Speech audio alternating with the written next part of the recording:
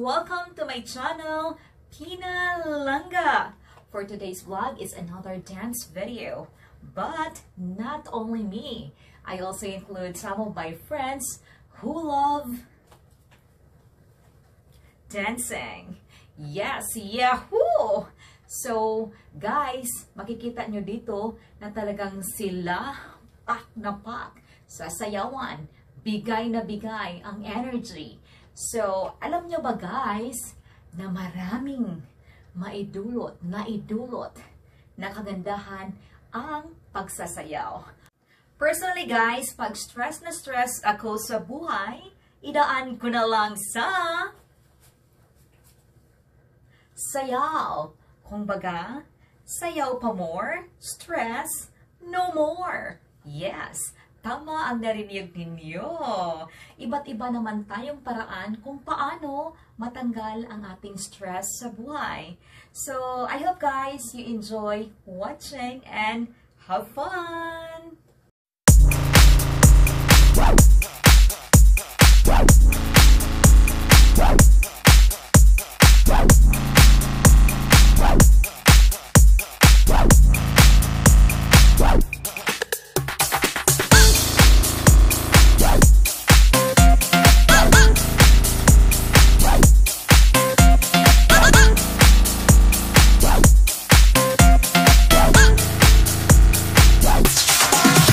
problem.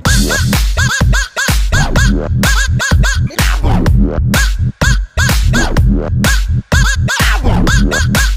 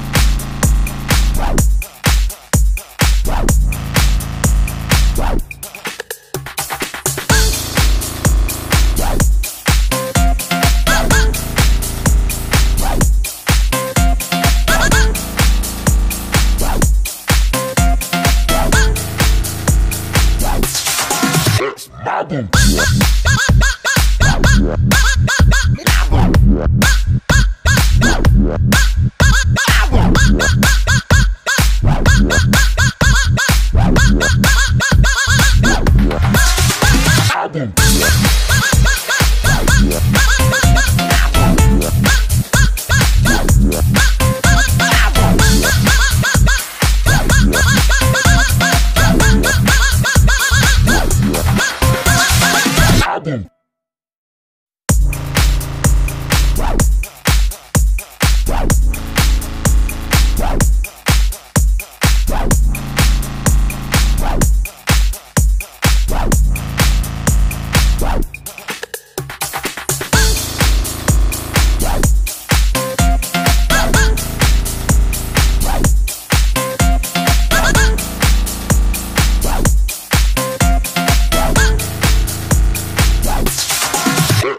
Boom.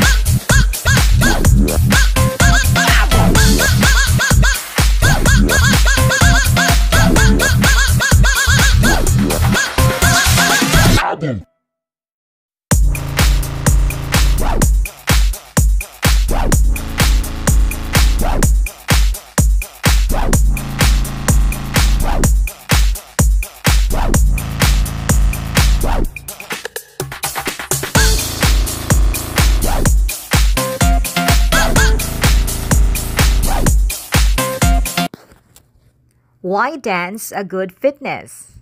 Getting fit doesn't have to be the core it's often perceived to be. Instead, as people all around the globe are finding out each day, dancing is one of the best fitness workout. It offers upbeat and inventive exercise that promotes a more healthy and active lifestyle. Sociable, energizing, and life affirming. It has a whole host of body benefits, from aiding joint flexibility through to boosting mental well being. While the physical benefits of dance are innumerable, it can also have a positive impact on mental health. These benefits are not simply limited to reducing depression and anxiety. It is an amazing activity for developing confidence as well as cognitive and communication skills.